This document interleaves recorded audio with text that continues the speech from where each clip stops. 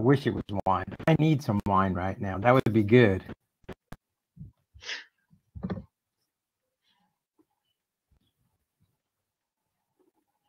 Oh, another.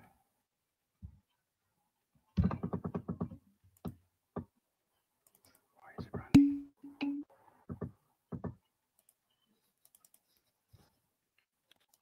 it running?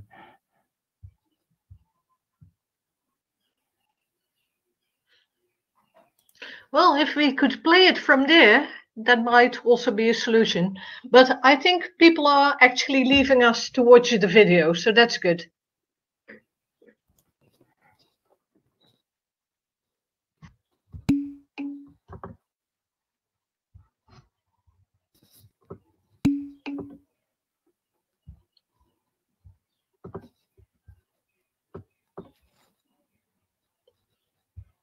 Again, for the people who are just checking in, uh, please first go to the uh, SFL recordings, FL, SFL, WF poster presentation and watch the video because that actually explains more than anything else.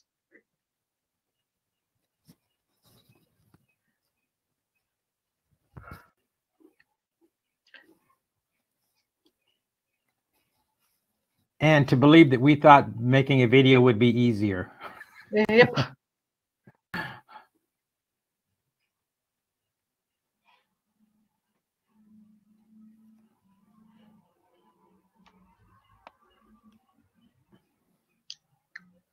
That would be good if there was sound.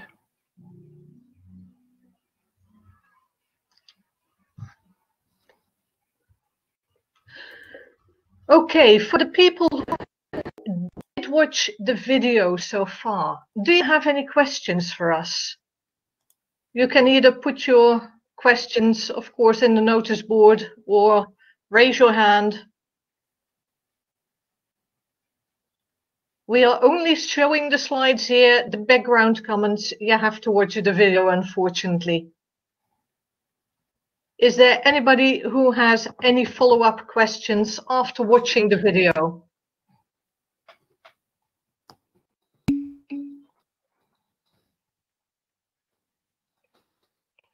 Ian, there should be sound. Do you hear me? Uh, Idil, which uh, statements are you talking about?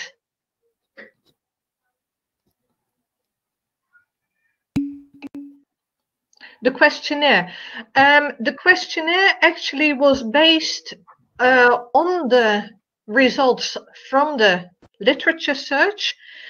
Um, a few of the questions we got from other questionnaires, especially the Oxford Happiness Questionnaire helped us, but uh, we adjusted most of them for the situation within the School of Foreign Languages. Oh, there was a lot of research, a lot.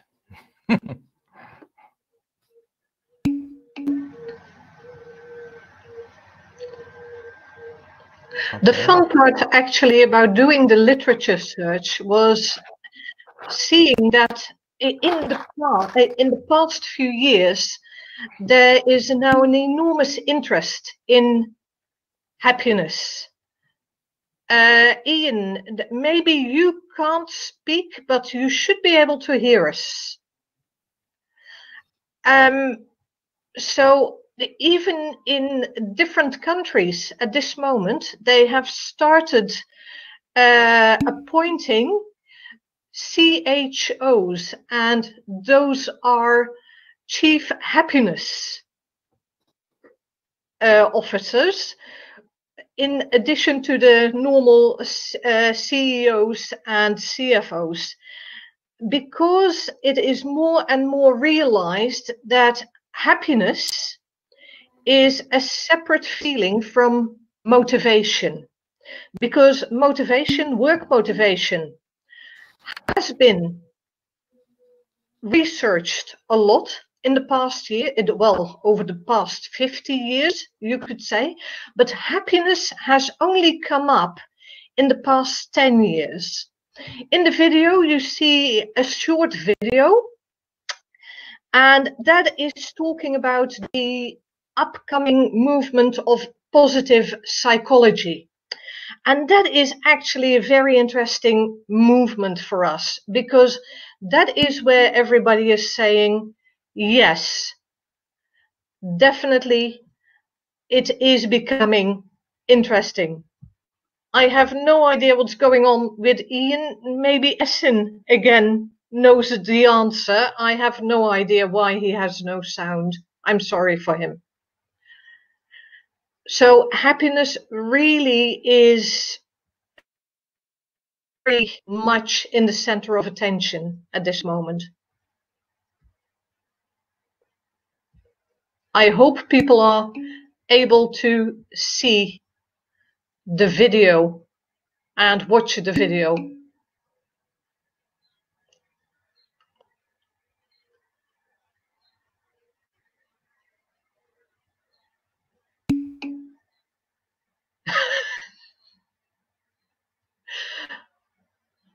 Charles, I can see you're back. Did you watch the video?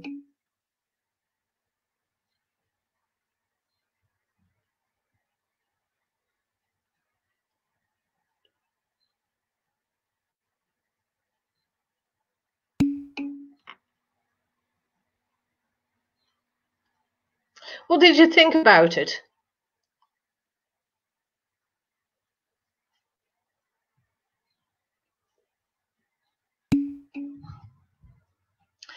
Um, do you think that research into happiness can actually help you become a better teacher?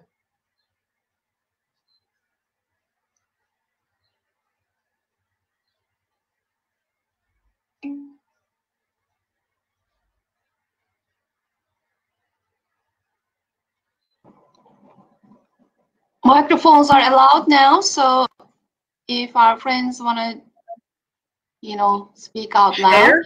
Yes, please.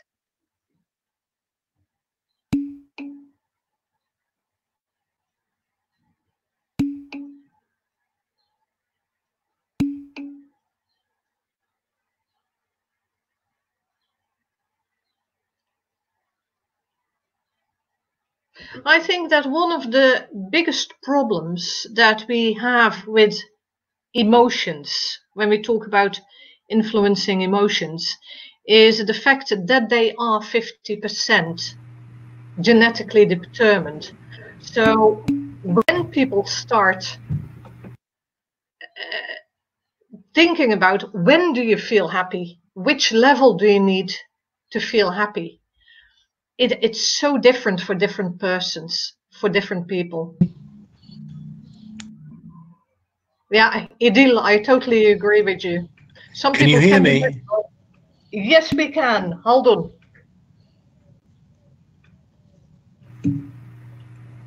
That's Ian. That's Yes, Ian. Ian, we can hear you.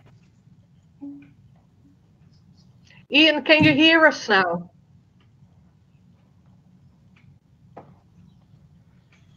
That would be terrible if we could hear him, but he couldn't hear us. Yeah.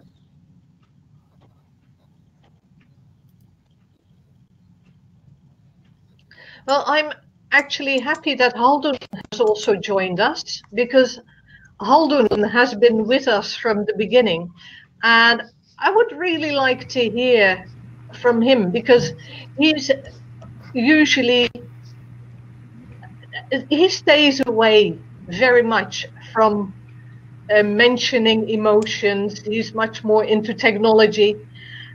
Haldun, what did you think when we came up with our topic? Hello, can you hear me? Yes, we Yes. can. Yes. Uh, first of all, thank you again. And it's quite interesting and innovative topic. And in fact, it's just like the elephant in the room. It matters everyone, though we may refrain from admitting or saying thing, saying such a thing. Uh, as emo- we are all emotional beings, and emotions matter. Emotions matter than logic, uh, because you know our lo- our brain make, makeup is like that. um, you know, the frontal part is logical part, but the limbic part is emotional part. And the limbic always wins the fight against frontal lobe. It shows that our emotions are more important than what we think. Uh, to give an example, for example, if you think a house uh, on fire and your logic says, stay out of this house because it's on fire, so you don't get into this house. But if your limbic part of your brain tells you this, your child is in the house, get in. So you don't think, you put your rationale away and you get into the house. So our emotions are much important than what sometimes we think logically. And our happiness uh, sometimes doesn't depend on uh, logic, right? So if we feel happy, then we become more creative. And if we are happy, we teach better. If we feel happy, we teach better than we expect, right? Sometimes you plan your lessons quite well, detailed, but it doesn't go. It doesn't go as much as uh, as good as you expect. But sometimes we experience the same, the, just the opposite. You don't. Maybe you're not that prepared, but your lesson went super. Why? I think that could be the reason. Maybe that day you felt happy, you enjoyed what you did. That's why I like the topic.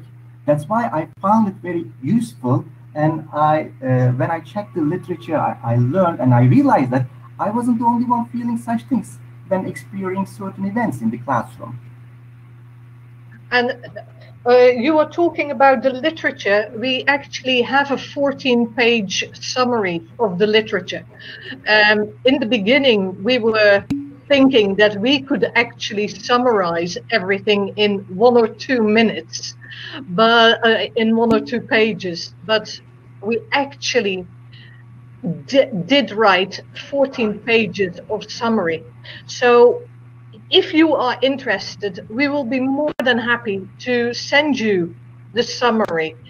And I, I, hope that next year, when we have done the interviews and when we have done the classroom observations, we can make it a lot more practical for you guys, because that is incredibly important. On the screen now, you can see the slide uh, about how you can actually become a happier person. Um, looking at Charles's comment, um, overthinking subjects, yes, can have the opposite effect. But I think that thinking about it actually does have a positive effect.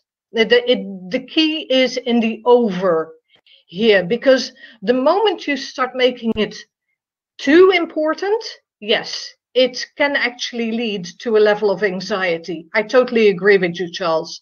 But it is something that people should be aware of that you can actually become a happier person. And being a happy person now helps you to be a happier person in the future. Okay, then yes, Don, I agree. You're never going to be 100% happy, but you can actually become happier.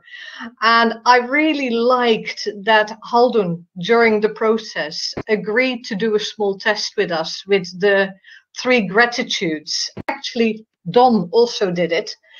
Um, ah, Elif, I love this one. Uh, what about cultural differences? Uh, in some cultures, you are not exposed to as many smiles. I know. Smiling, of course, is an incredibly important outward sign of happiness, but smiles and happiness are not exactly 100% uh, related. Happiness is more an internal feeling. And the smiling can either be artificial, what you see a, bit, a lot in the Far East, or actually hidden, like you say in Russia. Um, a lot of people uh, say that when you are looking too friendly, you seem weak. And I think that research has actually put a stop to that one. Um, because it comes out very, very clearly that actually, and now I'm talking about happiness, not about smiles, that happiness actually makes you a stronger person because you have a better way of coping with the external world. So you have to try to distinguish between the different parts. Yes. Oh, hold on. Beautiful. Yes. Smiling is temporary. Happiness is permanent. I totally agree with that one. Because the smile is very definitely culturally determined. The happiness isn't. And I've seen that working around the world, um, especially in the Far East.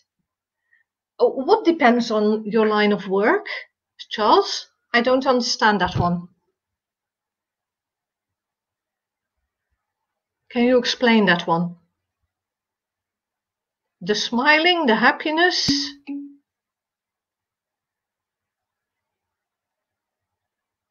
Yes, uh, yeah, definitely. And that's why in our research, we are totally, and in our project especially, we are totally focusing it on the classroom.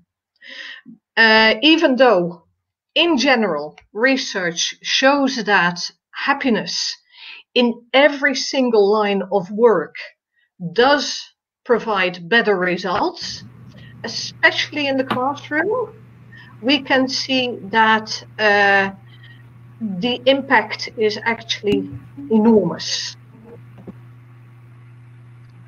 And it is something that actually came from the fact that Don and I discussed with each other that if we go into the classroom feeling positive, 90% of the time we get positivity back. And which means that the class goes more fluently, the results are better. And we were just thinking is it possible to actually start feeling more positive in the classroom and are there ways to make yourself feel more happy before you go into the classroom Bonnie, and can I yes. now? sorry Can I chip in? Can I say yes something here? please please please yeah, please To, to, to increase our awareness of happiness, uh, and myself tested each other, and it lasted, I guess, two weeks, right, Don? And um, we tried to find at least three different reasons every day that make us happy. So that was a quite different experience uh, in the first weeks. In the first week, it was um, a bit easy to find different reasons that make us feel happy. Uh, but in this, in the following week, we had to think about it because we were banned to repeat the same reason, and it wasn't that easy. But it doesn't. It told it told me something. Even if the reason doesn't change, it still makes you feel happy. So we don't need to find various or different reasons to feel happy. i totally Don? agree with that yeah Dan, what would you like to add No. something? No, I, I agree. I agree. Relaxing in the garden, being outside, things like that made me feel really good. Playing with your kid. Exactly. The, the reactions from kids, and for the most part, are the reactions from students in the classrooms, from getting calls from old students, from things like that. It really helps. Really, really helps. So if people think that I don't have many reasons to feel happy, even if you have a few, that would be enough. that's also why psychologists a lot of the time they ask you to keep a journal and to say just to keep a journal every day for 21 days and to go for noting down three things that made you feel happy or if you find that difficult, uh, three things that actually brought a smile to your face. And, and, I learned this while I was studying psychology. And that, oh God, that's a long, long time ago. That's uh, 35 years ago. So it is a technique that has been around for a very long time, but I still try to do this again and again and again because it it sort of brings you back to the fact that there are so many things that, that can make you smile. Um, I told some people the other day, we were talking about it, and they said, Well, then give us an example. And on that day, I was sitting in the Dolmuş and I saw a dog lying next to a bus stop. And it was just stretching out and having such a good, good time just being there.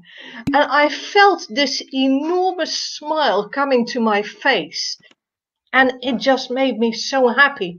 And that's how you can see how small things outside can make you happy, can make you feel happy. And if you can hold on to that feeling and bring that into the classroom,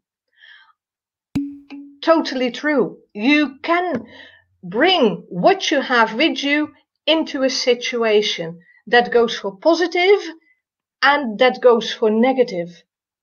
Charles, I have seen a lot of bad things in my life. It's not uh, about smiling just, Elif. It is really about being happy, feeling content, feeling grateful about your life. And I know it's a life strategy. Gulfem, you've got it. That's it. It's a life strategy. And it helps in the classroom. Because if you can apply it in the rest of your life outside work, people, it feels so good. And I think we are all together in that we have seen our share of illness and death and all kinds of horrible things in our life. But it, it just comes back. Elif, I agree with you. I think that the outward sign of the happiness even makes it stronger. And that's why the smile definitely is important. However, I don't really believe in those smiling workshops or those laughing workshops where everybody has to laugh on command, because that for me is so totally not connected to real happiness. Strange you say that, because I feel better in the streets of Turkey. Charles, you don't trust people who smile too much. I.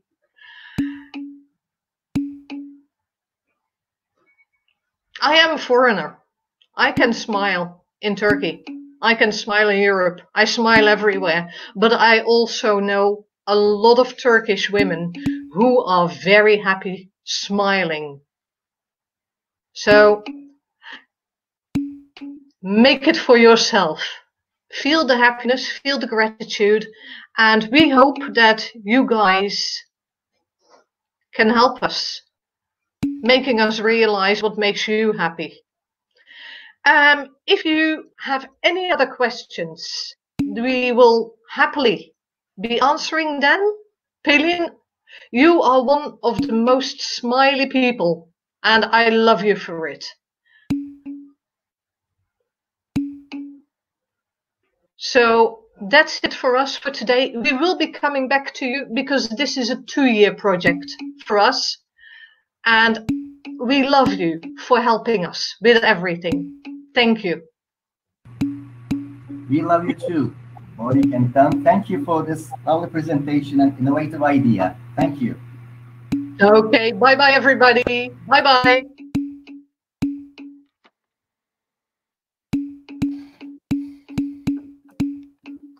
Bye-bye, and thank you for coming.